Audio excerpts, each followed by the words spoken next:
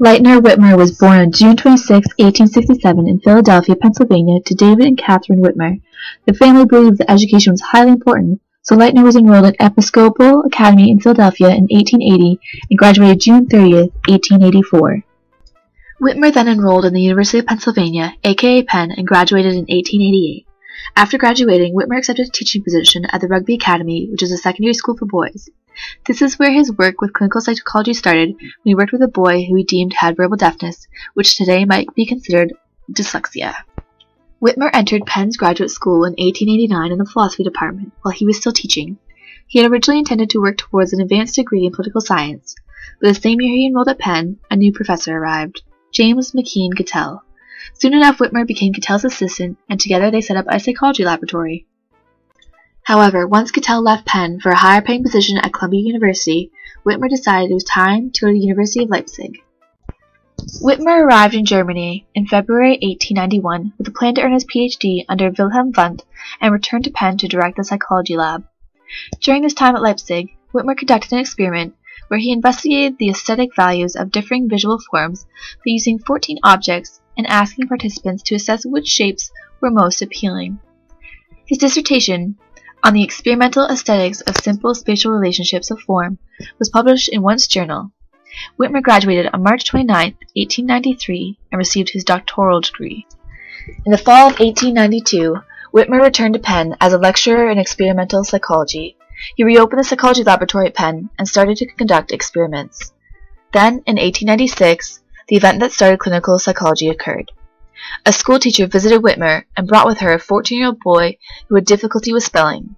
The teacher had been a student in one of Witmer's classes, and reasoned that psychology ought to be able to help the boy with his mental problem. The case was treated successfully, which led to additional cases being brought to him as word of his success spread through the educational community. These instances led Witmer to found what was possibly the first psychology clinic in the world in 1896. He was so enthused by his success that he discussed his therapy program at the annual meeting of the American Psychological Association. He wanted his colleagues to use psychology to help problems that confront humanity. For the first few years, Witmer saw all the patients himself, who were mostly children with learning disabilities and behavior disorders. However, as the case demand grew and grew, Witmer hired some of his doctoral students as well as additional staff. At this point in time, he also decided to keep case records for the interest and use of others.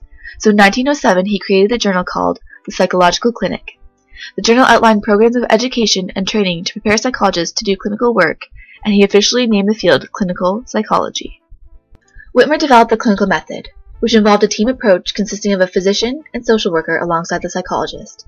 The team was involved in testing the patient, determining the diagnosis, and designing and conducting the treatment.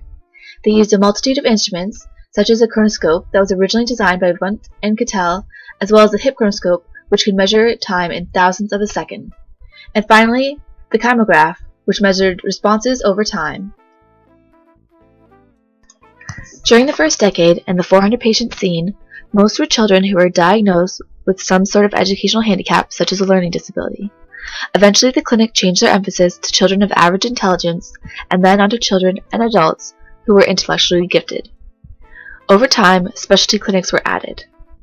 Those clinics included specialties on speech defects, vocational guidance, and counseling.